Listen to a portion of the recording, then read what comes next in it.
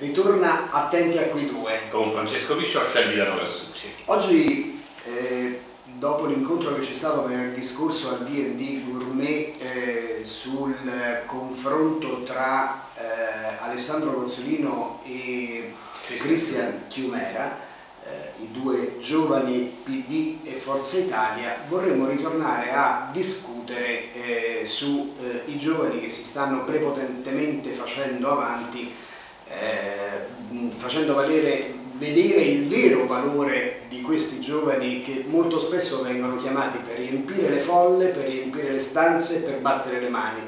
Hanno dimostrato realmente la loro capacità. Io contesto una parola che dici prepotentemente, ecco, non sono proprio prepotenti, io credo che la caratteristica che loro dovrebbero avere, visto la preparazione, su questo sono d'accordo con te, perché sono veramente molto attenti a quei due. attenti a quello, sono, sono, uh, erano molto più preparati della media dei vecchi che parlavano di riforme costituzionali, perché almeno sono entrati nel, nel merito, va anche dato merito ai due conduttori che erano bravissimi, erano io e lui naturalmente, però uh, il problema è che loro, eh, quelli che si formano dentro i partiti, come eh, Cozzolino e Chiumera, sono un po' troppo attendisti delle gerarchie dei partiti, invece dovrebbero sfondare perché hanno i fondamentali. Quel giorno loro hanno dimostrato di parlare di Costituzione, di riforma costituzionale, eh, sapendo del merito, cosa rarissima nel quadro politico, però poi questo lo devi tradurre in argomentazioni e in forza all'interno dei rispettivi partiti per rompere gli schemi. Faccio un esempio, se in politica non si fanno mai eh, i se no, ma se in politica, eh, se fosse stato candidato Pozzolino a Latina e Chiumera a Terracina, i risultati elettorali sarebbero gli stessi? Ecco, bella domanda. Eh, eh, ritorniamo a discutere di Chiumera a Terracina e Cozzolino a Latina.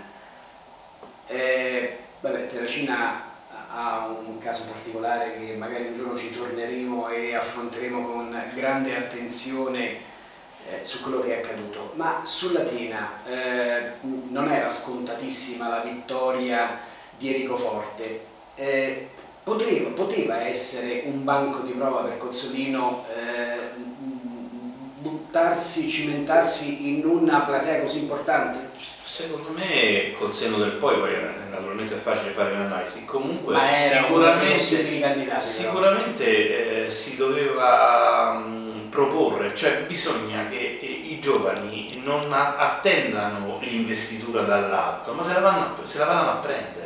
Il nodo dei giovani è che i nostri giovani sono a volte, soprattutto in politica, molto attendisti, aspettano l'incoronazione. Secondo me la corona te la devi andare a prendere, cioè la spada della roccia la devi tirare fuori. Se tu la guardi e chiedi a Merlino ma la posso tirare fuori, comanda Merlino. Se invece tu vai lì e la tiri fuori, capisci che eh, sei il primo attore della partita, questo eh, che manca ai nostri giovani, non la preparazione, l'abbiamo visto in quel dibattito, ma manca il coraggio di prendere in mano le redini eh, della, della partita e giocarsela fino in fondo.